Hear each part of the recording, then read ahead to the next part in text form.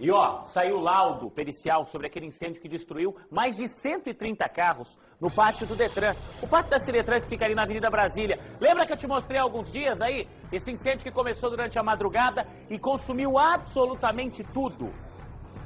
Foi crime, Juliano? Foi uma combustão espontânea? O fogo apareceu do nada? O que é que aconteceu?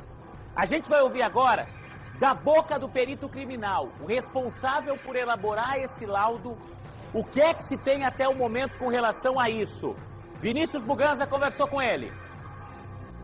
É isso mesmo, Juliano. Foram sete dias de trabalho do Instituto de Criminalística até a conclusão do laudo da perícia. Ficou comprovado que o incêndio no pátio do Detran foi mesmo criminoso. Para a gente falar mais sobre o assunto, Luciano Buchardi está aqui comigo. Luciano, estava é, ali bastante claro já a, a, as evidências, é, garrafas de álcool jogadas em volta, mas é importante concluir esse laudo, né, que agora mostra que foi mesmo criminoso esse incêndio. Né? Boa tarde. É, boa tarde, exatamente. É, na verdade, muito embora aqueles vestígios iniciais estejam ali de maneira bastante evidente, né, mas é preciso que a perícia faça todos os exames pertinentes, né, ah, especialmente fazendo a exclusão das outras possibilidades. Né, o incêndio normalmente pode acontecer também por curto curto-circuito, reação química exotérmica, fenômeno da natureza, materiais autocombustíveis, ou seja, tem algumas outras possibilidades também que foram devidamente fluídas nesse caso, né?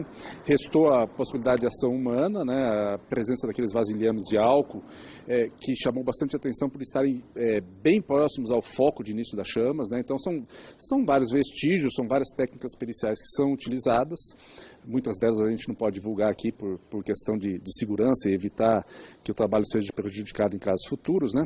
Mas aí todos esses elementos probatórios nos, nos conduziram à conclusão de que efetivamente foi uma ação humana intencional. Agora, é, fica muito difícil, né? É descobrir agora quem teria provocado esse incêndio, né? Claro que é um trabalho agora da Polícia Civil de investigação, mas vocês conseguiram achar algum vestígio digital, algo nesse sentido ou não? É, na, na, ia ter, ser feita uma tentativa junto a esses recipientes plásticos no Instituto de Identificação do levantamento das impressões digitais, né? O levantamento dessas impressões é feito pelo Instituto de Identificação.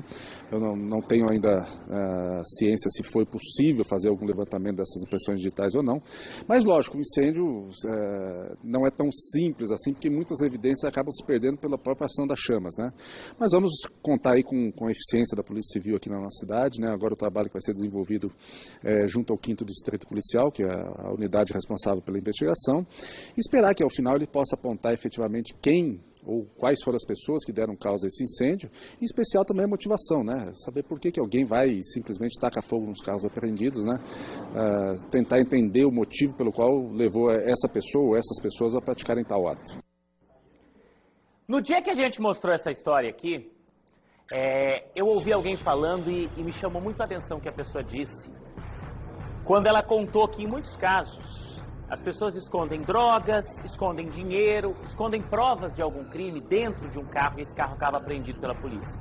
Pode ter, por exemplo, a marca de sangue de um crime que não foi periciada e que está no banco de um carro. Então, isso é bem possível. Se o incêndio foi criminoso, será que alguém não queria destruir especificamente um carro, que era prova de um crime que está lá apreendido no pátio da Seretran, e aí provocou esse incêndio que destruiu tudo? Isso tem que ser levado em conta pela polícia, tá? Com toda certeza.